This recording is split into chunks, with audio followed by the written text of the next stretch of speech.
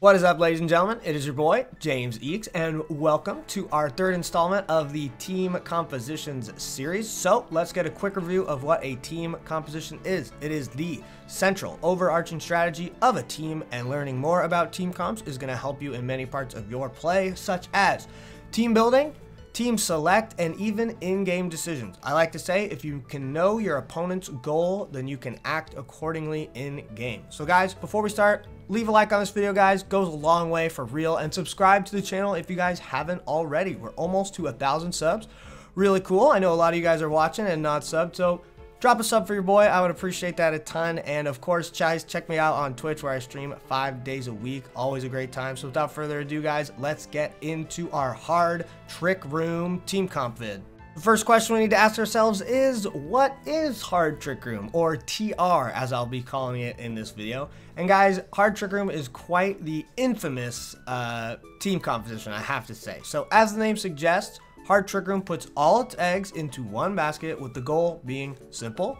Set up Trick Room and sweep the opponent with the four turns of Trick Room that you have. So, usually their team will consist of one to two Trick Room setters, two to three sweepers, and then one to two support Pokemon that are going to be aiding in either setting up the trick room or helping those sweepers sweep. And I decided I decided to do hard trick room after hyper offense because I think they are two sides of the same coin. They're almost like a yin and yang dynamic. The teams practically have the same game plan, get into the position to sweep the enemy team, and if they can't get into that position, they crumble. It is a high risk, high reward team composition. For example, if Trick Room goes up against a hyper offense team, that Trick Room team is almost always going to win. And if a hyper offense team stops the Trick Room from going up on the other side, they are probably going to win almost every time. They are the bane of each other's existence. Now, a cool thing about Trick Room teams is that they have the luxury of getting to spend their EVs in damage and bulk, as opposed to usual Pokemon that have to put their EVs into damage and speed. They hit hard and they take hits well, but for that, they have to sacrifice speed. And of course, that's where Trick Room comes in.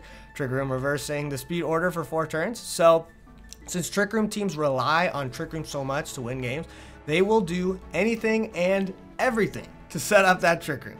Follow me.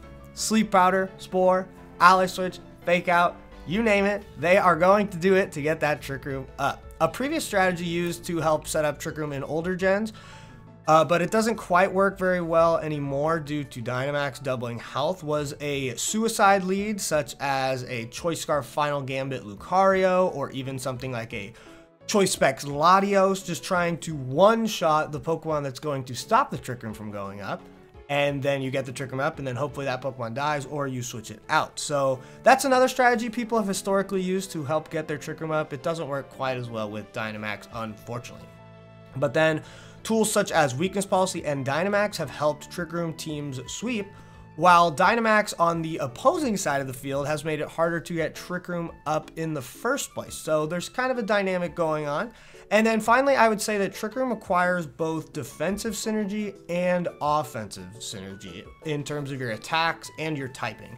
Just because if your Trick Room does fail to go up, the game is not over. You can still win as long as you have strong defensive synergy and can make those big defensive pivots and stuff like that. So I would say that that is a good rundown of hard Trick Room comps. So let's jump into some examples. Let's start with VGC 2020's most infamous hard trick room composition. If you guys are playing VGC 2020, this team or something very similar to it should not come to a surprise at all. But let's break it down a little bit. So we've got two trick room setters in Dusclops and Hatterene. We have setup support in Follow Me, Psychic Terrain Indeedee, and Sleep Powder Venusaur in some circumstances. And then we've got three to four sweepers. I would say we've got Weakness Policy Rhyperior, usually with Bulldoze Dusclops. We've got Torkoal and Gmax Hatterene, and then sometimes you can even go for a Gmax Venusaur sweep, because with that Torkoal Venusaur mode, they have the option to go super fast, attempt a Venusaur sweep, and then in the back have a Trick Room sweeping mode, such as Dusclops and Rhyperior, or Dusclops and Hatterene, something like that. So while this team does seem one-dimensional at first, there are a few different options under the hood. This team, I believe, is so strong because of the sweepers options that they have in particular. You've got Gmax Smite and Rock Slide from Rhyperior the level of hacks in that, they're confused, and the chance to flinch is definitely in the hard Trick Room team's favor. Uh, weakness policy sweeps, if it decides to be the one Dynamaxing, you know, with the Bulldoze, just setting up Sandstorm, getting special defense boost, doing an insane amount of damage. And then, of course, like I said, Gmax Venusaur. It's just another element that you need to be uh, prepared for. I mean, the Gmax Vine Lash is crazy strong. Uh, Venusaur does a ton of damage. Max Ooze boosting it and its partner special attack. Everybody on the team enjoys that special attack except Rhyperior and Dusclops. So yeah, lots of lots of scary stuff. And then I mean, of course, Torkoal by itself. I think Torkoal doesn't do that much damage, but the really cool thing about Torkoal is it puts on insane pressure without needing to Dynamax. You always need to respect that eruption from Torkoal, even when it doesn't have to Dynamax and it leaves the Dynamax to the partners that do it best. So just another thing that you guys need to uh, be prepared for on this team. And they do just have a lot of luck factors, like I said. This team has a lot of roles going into it and they can really uh, take advantage of that. So I want to go into one more example of one of my favorite hard trick room teams of all time. This is Sejun Park's 2013 World Championships top 8 team. Yes, Sejun did win the 2014 World Championships, and he also top cut the 2013 World Championships. He is an absolute monster. But Anyway, take a look at this team. This team is so cool. Even for the time, it was so creative. He's got his only Trick Room setter is Jellicent, who can also do big damage with Water Spout under Trick Room. It was running a Water Gem back then.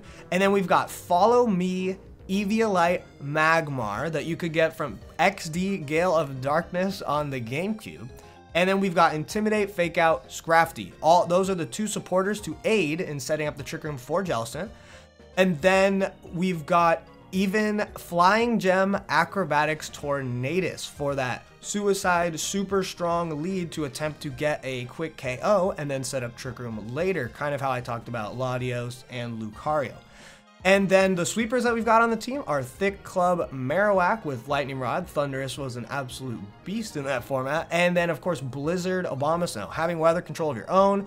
Blizzard's base power was higher back then, and just firing off those big blizzards and hoping to get some freezes. I mean, this team was super cool. And then, of course, Jellicent and Scrafty themselves, they are support Pokemon, but they can also pump out some solid damage as well. So I always thought this was such a creative, hard Trick Room team, and it really does encompass all those things that a hard Trick Room needs, hard Trick Room team needs to succeed. So I always love looking back at it.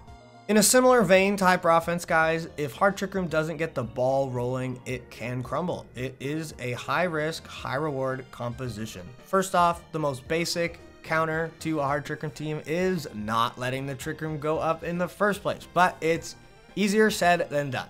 Things like Imprison, Trick Room are solid ways of stopping it, but be prepared, your opponent is going to clap back. Trick Room, Imprison is very telegraphed. They know that you're going to do that turn one and they can just go offensive turn one, KO your Imprisoner, and then set up Trick Room later. Uh, it's got to be played very delicately to actually get your Trick Room Imprison to be successful.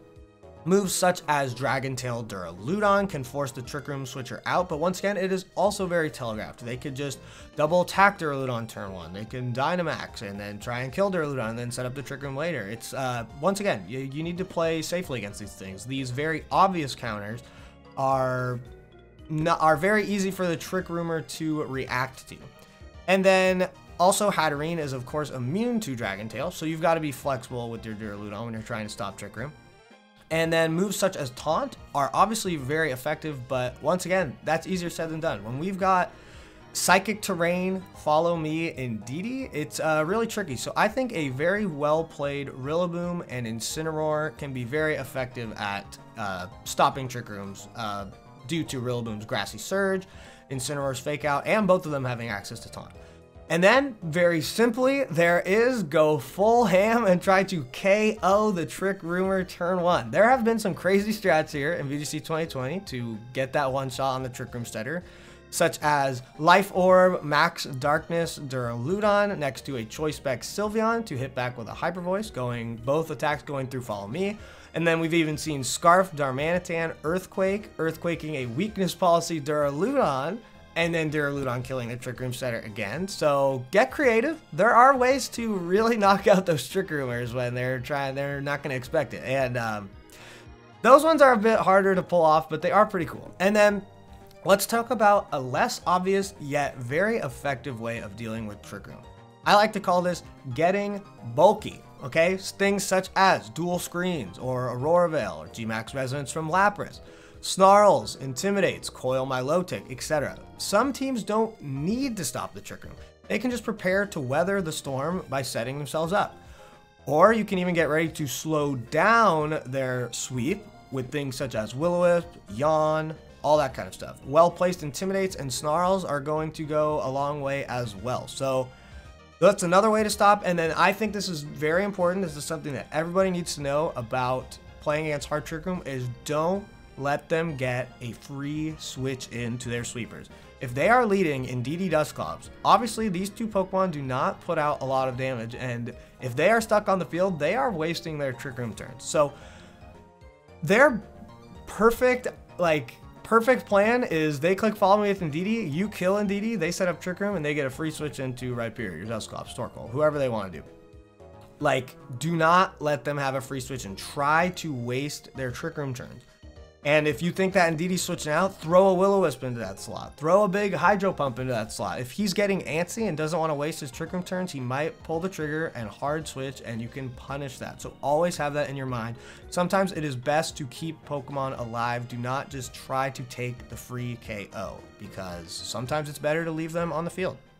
In conclusion, ladies and gentlemen, Hard Trick Room is a high risk, high reward team composition that wants to get Trick Room up ASAP and sweep you in those few turns they have. They also have the luxury of being able to invest in bulk and damage since they don't need speed, but of course that gives them a heavy reliance on Trick Room. If you can stop the Trick Room from being set up, you should be in the clear if you play it correctly. Building your team to survive the Trick Room is also a viable option. Screens, Sleep, Burn, Intimidate, Snarls.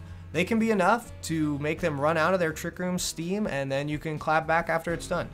So guys, thank you so, so much for watching. I hope you guys had a good time and I hope you guys learned a little something, something. So guys, subscribe to the channel if you guys are not. I would really, really appreciate that. And consider dropping by the stream, ladies and gentlemen. I'm always live. I make sure to talk and read every message in chat. I love talking and hanging out with you guys. And we're doing a little special something uh, tomorrow on Friday. So consider dropping by. But guys, I will see you guys next week for another Team Comp guide. And I love and appreciate you. Bye, everybody.